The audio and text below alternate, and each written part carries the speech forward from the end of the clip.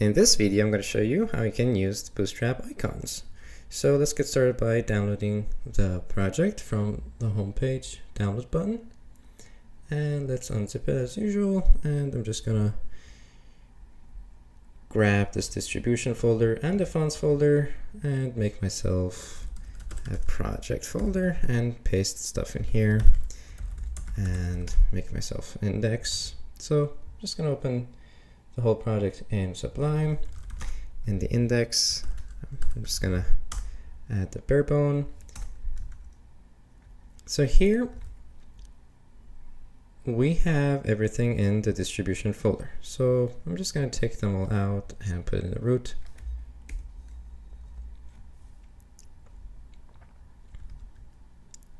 So here we have everything in the distribution folder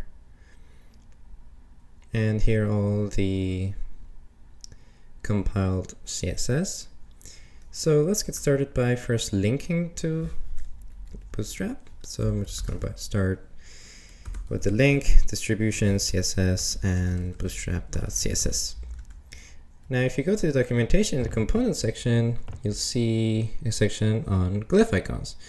Basically, you can use these class names to create icons in your components. So let's say we want to add an icon, restaurant icon to our h1 tag. So here I'm just going to make a h1 and give it class glyphicon and I'm just gonna give it two classes. The first one glyphicon, which is this is going to be a glyph and here it specifies what it's going to be.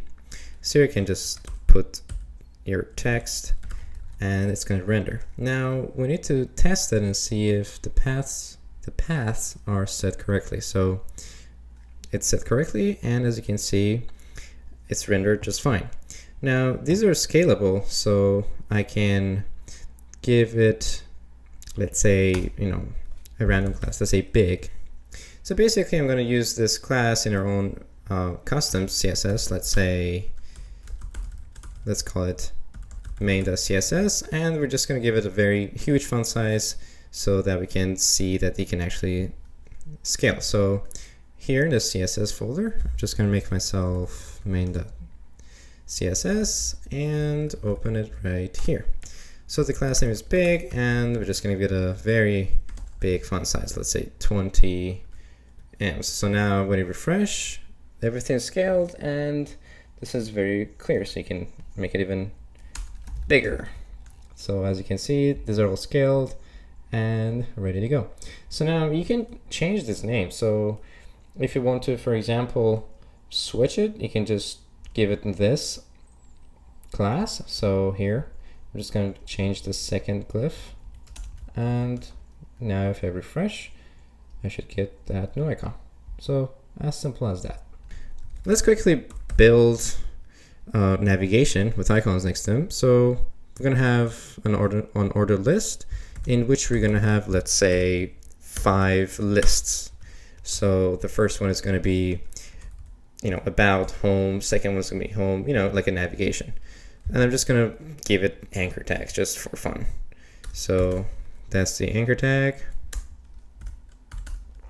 There we go. And we're not going to link to anything. So the first one, let's say, is home. The other one is contact and etc. etc.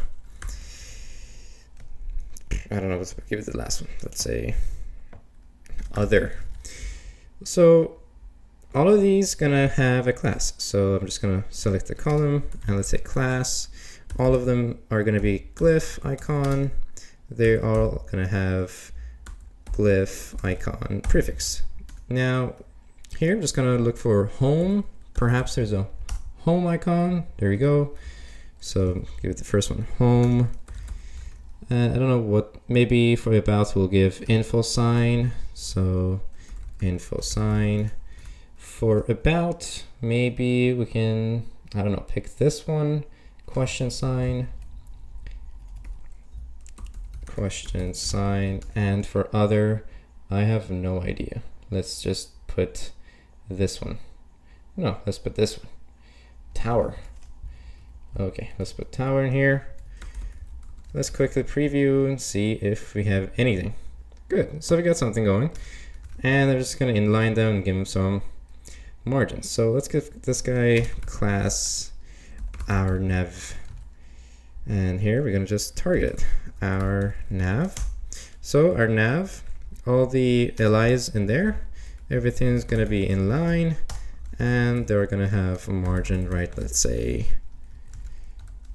let's say, you know, 10 pixels. And we don't want the last one to have any margin, so let's get rid of that just like that, margin right zero. So now all of these should be in line, good. Just to check and see if they have, the last one has a right margin. I'm just curious. So this is the last one, so this shouldn't have a right margin, but the other one should. So that looks good. So you see this one, the right margin is zero. So you can you can be creative here. So our nav li a font size 25 pixels. Okay, that's good. Let's get rid of. Okay, that's that's good. Yeah, so good. We have a navigation. So now we could put that in. Let's get rid of all this and let's put it in the container just to center the page. But it's maybe we should give it a text center so we can center the whole thing. Good.